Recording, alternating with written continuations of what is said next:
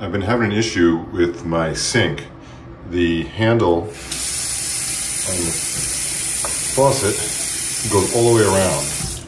So I went on Amazon. Who doesn't love Amazon?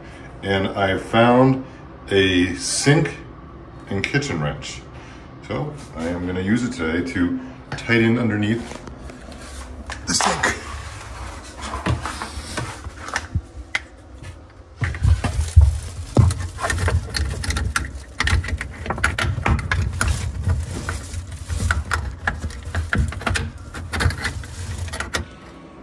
After some playing around, I fixed the sink.